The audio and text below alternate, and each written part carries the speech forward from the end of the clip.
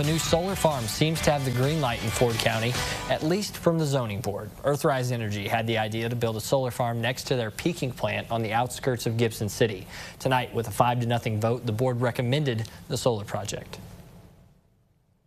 This would require the, the applicant to begin construction of the project within 12 months. And then they have to substantially complete the project within 36 months.